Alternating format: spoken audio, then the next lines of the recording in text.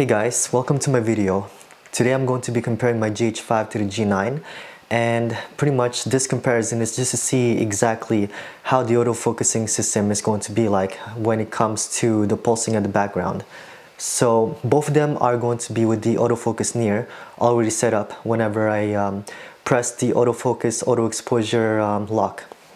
So um, most likely it's going to be able to track my uh, face uh, much better than the uh, previous firmwares that it did because right now they're both at their latest firmwares. The GH5 has um, firmware 2.6 and the G9 has a firmware 2.0 and pretty much they come packed with a lot more features especially the G9 and um, one of them is more towards uh, being more video centric. So uh, in order to do this type of comparison I pretty much placed them both at the same focal length at 45 mil because um, if I can remember correctly, let's see. The G9 right now has the 35 mil to 100 mil zoom lens, um, f2.8, and my GH5 has one for the 45 mil f1.2. Both of them are at f2.8 because that's as low, uh, I mean as wide as uh, the 35 to 100 mil can go. And they're both at the extended ISO range of 160. I'm recording this thing with a format of MOV at 4K resolution, 10-bit uh, 422 at 24 frames per second.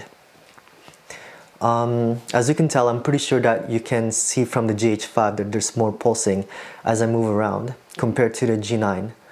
Um, it also has um, something to do with the, the lens uh, autofocus system. So the mechanisms are going to be different between the M Zuiko lens versus the GX Vario, but um, afterwards I'm going to be switching the lenses with the bodies.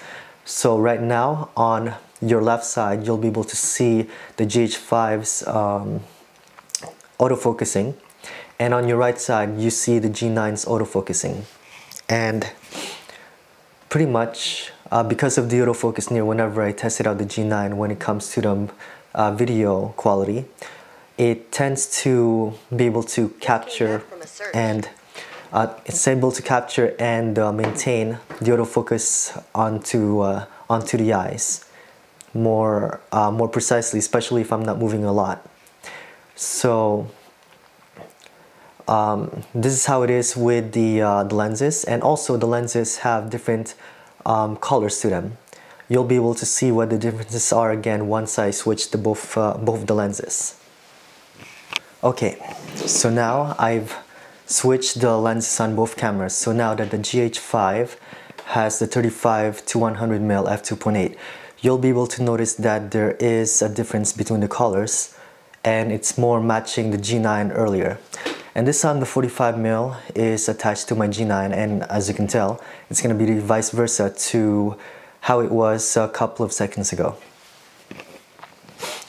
And as you can tell, the autofocus is probably a little bit uh, slightly different compared to how it was uh, earlier.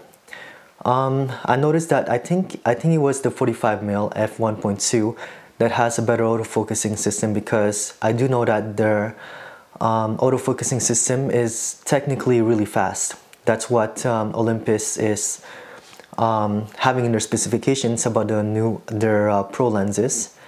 And honestly whenever it comes to just uh, stills photography the 35 to 100 mil is uh, pretty good also.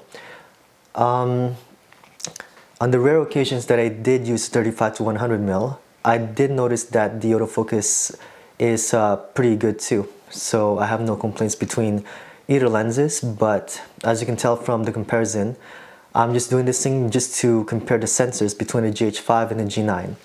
Now, a lot of you probably already know that the G9's um, sensor is a little bit better. It's more up to date than the GH5, but um, just comparing how it is with the new firmwares, if uh, the uh, older uh, sensor for, from the GH5 is uh, quite capable um, side by side with the G9, so this way it's going to be a little bit better to compare them because as, as you can tell they're being filmed both at the same time in this video. So hopefully I'm helping you guys out and please subscribe and add some comments if you want to so uh, that I know exactly what uh, your thoughts on the uh, comparisons and also um, if you have any ideas on what type of uh, videos you want me to create then please leave a comment as well. Thank you.